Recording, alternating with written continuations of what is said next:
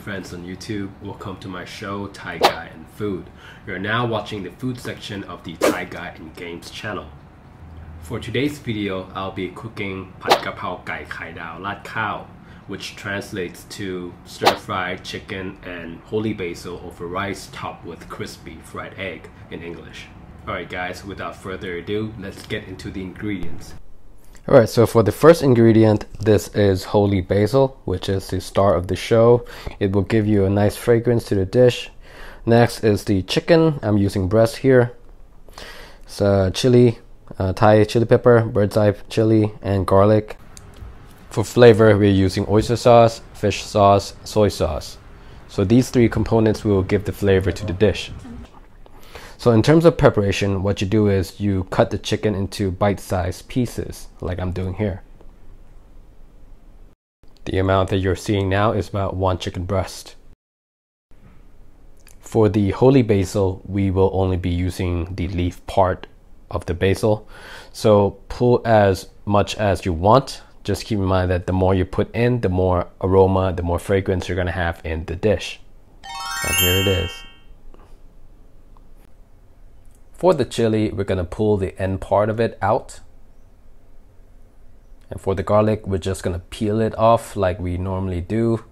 Then we're gonna take these two bad boys and then chop them into pieces. You can chop them into fine pieces, but I'm chopping it into rough, um, rough pieces because I don't want them to burn too fast in the pan. And this is the end product. Now we are going to prepare the sauce in this bowl, starting with 1 to 2 tablespoons of oyster sauce, then half a tablespoon of fish sauce, then followed by another half a tablespoon of soy sauce. Keep in mind that you can add more or less of any ingredient that you see according to your preference.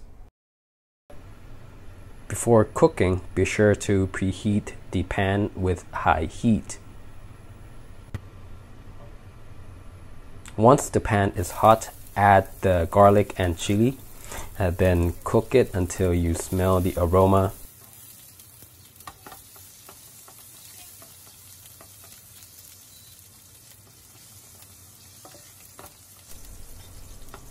After that, we're going to be adding the chicken.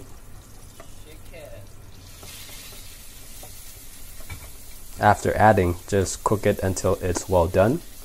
Um, the time would vary according to the size of the chicken pieces that you cut.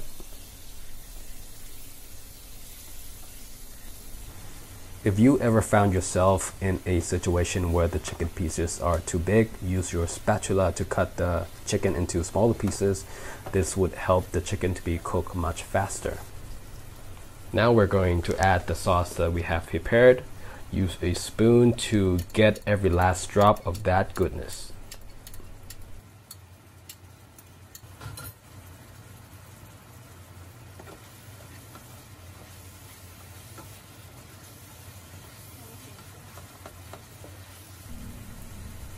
After putting everything together, grab a spoon and give it a taste.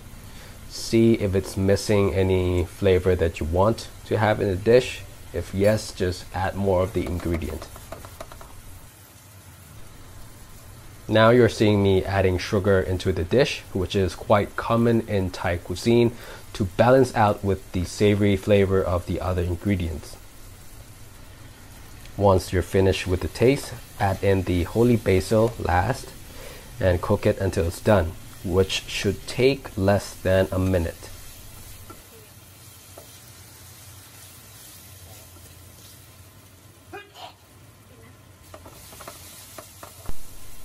Alright, turn off the heat and let's plate the dish. As mentioned in the intro of the video, this dish will be served over rice or with rice, which is a common way to have Thai food when you don't have much time. For example, when you're on your lunch break.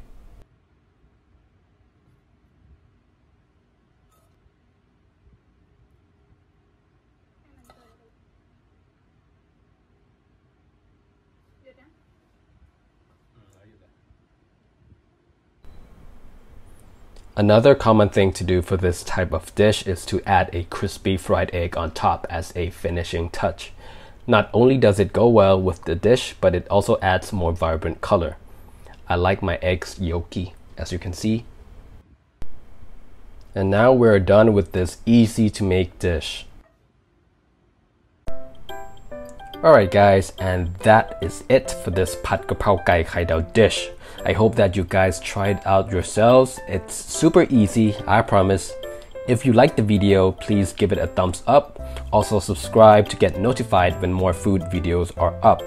Thanks for watching and see you in the next video.